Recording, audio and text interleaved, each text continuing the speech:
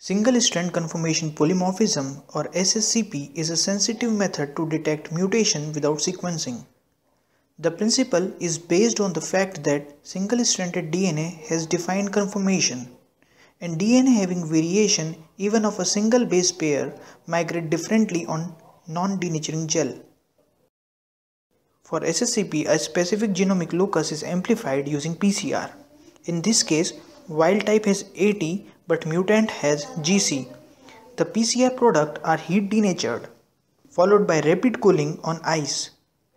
This led to formation of different conformation of single-stranded DNA. These products are separated on non-denaturing gel.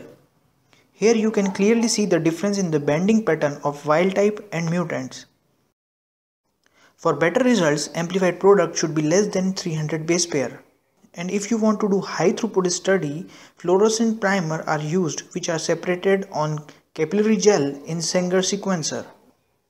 If you are interested in mutant identification and SNP genotyping, you must watch my video on HRM analysis.